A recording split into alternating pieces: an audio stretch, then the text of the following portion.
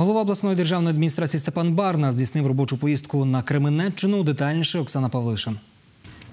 Очільник краю взяв участь в урочистому відкритті дочірнього підприємства Агроцентр Єврохім Україна після його реконструкції. Оглянув виробничі потужності заводу. Слід зазначити, що створення цього підприємства здійснено компанією ВАТ МХК Єврохім в рамках стратегічного розвитку мережі дистрибуції на ринках Російської Федерації, країн СНД та України. Підприємство працює на ринку мінеральних добрив більше 10 років. За цей час досягло значних успіхів, ставши лідером на ринку тукозмішування. Підрозділ співпрацює із закритим акціонерним товариством Білоруська каліна компанія, відкритим акціонерним товариством Гомельський хімічний завод та з українськими заводами, які виготовляють азотні добрива. Хочу від імені обласної державної адміністрації подякувати нашим інвесторам в особі підприємства Єврохім те, що навіть в цих сьогоднішніх умовах, складних умовах, ви намагаєтесь працювати, створювати робочі місця і платити податки. На сегодняшний день э, производственная база имеет возможность принимать минеральные удобрения сыпучие и жидкие в объеме где-то 15-20 тысяч тонн. Это сыпучие объекты и жидкие до 5 тысяч э, тонн э, КАЗ-32. Ну, на производстве у нас работает около 50 человек. В общем-то, база э, создана э, с точки зрения э, оптимизации логистики для сельхозпотребителей, чтобы они э, могли оперативно и достаточно быстро приезжать сюда и под посевную приобретать здесь удобрения и вовремя их вносить. Ми маємо можливість е, зробити агрономічний супровід, який забезпечить раціональне використання добрив, що в даних умовах складних е, економічних дасть можливість знизити затрати виробників на придбання добрив і підняти їх ефективність. Це дуже важливо.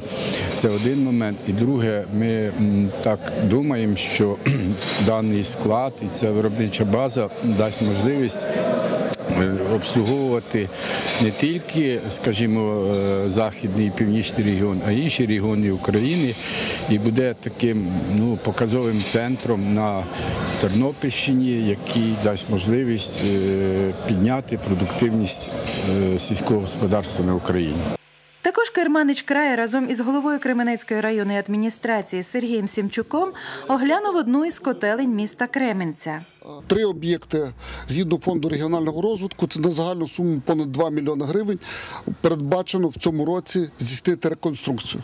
Для нас надзвичайно важливо це, зокрема, на прикладі даної, даного об'єкту, а це безпосередньо є котельня в місті Кременці, котра забезпечує не тільки е, певну частину масиву міста Кременця, а ця котельня забезпечує і професійно-технічне училище теплом, районну лікарню забезпечує теплом, тому принципово важливо, щоб вона працювала.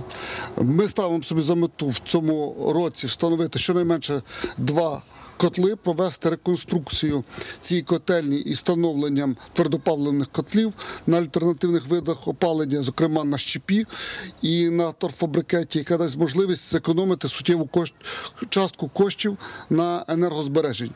За дорученням Степана Барни, голова Кременецької районної адміністрації Сергій Сімчук та начальник управління капітального будівництва обласної державної адміністрації Віктор Кузяк разом із підрядником товариства з обмеженою відповідальністю «Газпластбуд» Олександром Коломійчуком оглянули будівлю колишнього фельдшерсько-акушерського пункту у селі Рудки.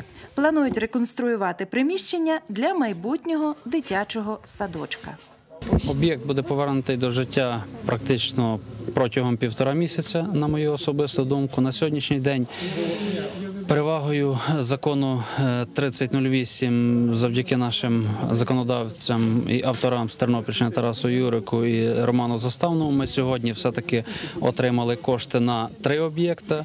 Тільки що ми були на котельні, де виділено з фонду регіонального розвитку мільйон 150 тисяч. Тут виділено 771 тисяча і 400, е, більше 400 тисяч виділено на село Лосятин, аби відновити електроопори і освітити 80 хат, де проживає близько 200 людей.